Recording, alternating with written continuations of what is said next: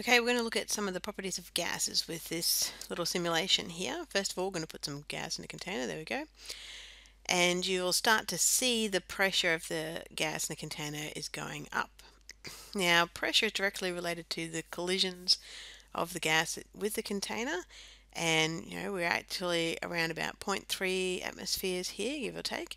And it's dependent on the collisions. Now, if we want to increase the pressure, uh, we need to increase the collision. So we can do this a couple of ways. The first way would be obviously just to speed up the molecules. So if we heat them up, the molecules will move faster. You can see that little blue dots are moving faster. The temperature has increased, obviously, and the pressure has also increased pressure has increased because the number of collisions between the molecules and the side of the container has increased because the molecules are moving faster. So they get to the side of the container faster, they hit it faster, they hit the other side faster and the pressure increases. We can go the opposite way and cool it right, right, right, right, right down. You can see the molecules are starting to move much slower.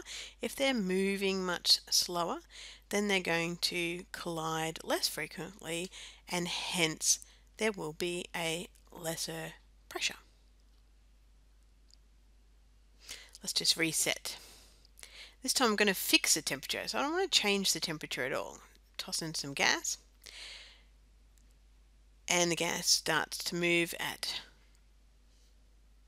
the speed relative to this temperature. Now remember the temperature is fixed and we've got about 0.15 atmospheres here.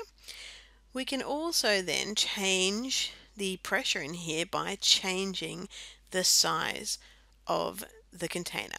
So remember pressure was to do with collisions.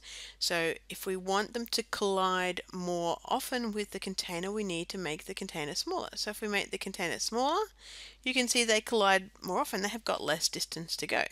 And the pressure has gone up. The temperature is being maintained because we've you know put some heat control in there. So to increase pressure, you can decrease volume. Decreasing volume means the collisions will happen more frequently. More frequent collisions means more pressure. That's Boyle's law.